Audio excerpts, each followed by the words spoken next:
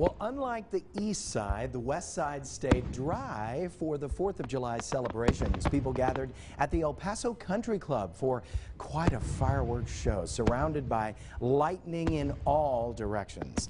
This fireworks show is an Upper Valley tradition where people park all around the golf course for a spectacular view.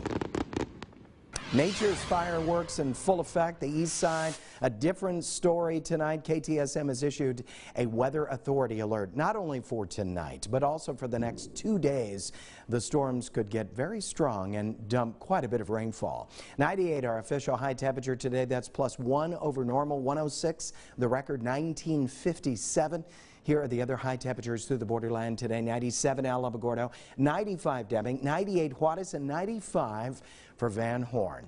I look at the rain totals, still behind 1.83 for the year. We should be at 2.53 inches. But don't worry, eventually one of these big thunder showers is going to hit the official rain gauge at the airport. And as you can see, it's empty today, which tell the East Siders and the people around the Spaghetti Bowl that we had no rain. 0.14 Juarez, 0.02 Las Cruces, 0.85 inches in Van Horn, 0.13 for Deming, and just over a quarter of an inch for Cloudcroft.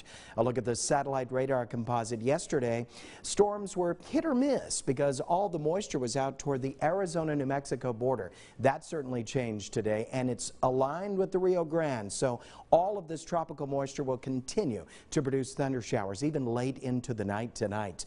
Look at where the rain's coming down. We saw Tawny live out here on the east side, and it is a blanket of rainfall for the northeastern quadrant of the county. Another cell moving into the upper valley. That was right over the country club, too, so hopefully everybody got home safely before that downpour right there up in Las Cruces. We've had widely scattered storms around town. You've had quite a lightning display, but such a beautiful night for fireworks. This is the structure of your atmosphere. We've got a high pressure zone built up over the southeast, but we will continue to get these little ripple disturbances. That's what's going to enhance the chance of the thunder showers, making them potentially stronger and delivering more rainfall over the next few days. Winds are fairly light, though they will be occasionally gusty as the winds break apart tonight. Temperatures right now 78 at the airport, 72 Alamogordo, 73 Deming.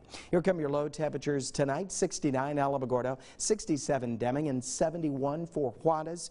Highs tomorrow, 95 for Alamogordo and Deming, 96 for Juarez tonight. Las Cruces, I don't want to remove that chance of thunder showers. 68 your low temperature tonight. Tomorrow, 95 and more scattered thunder showers with the threat of heavy rainfall. 70 the low temperature at the airport tonight with a continued fresh new round of thunder showers forming.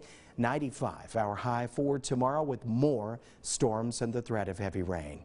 Only KTSM gives you nine full days of weather. I'm very concerned about the next several days. Wednesday especially, 90 the high temperature thanks to the cloud cover. Heavy rain threat as well. 95 on Thursday, thunder showers.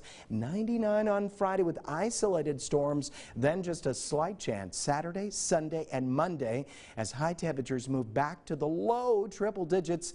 Thunder showers return Tuesday and Wednesday. What a great time to be a weather watcher. How do you do it?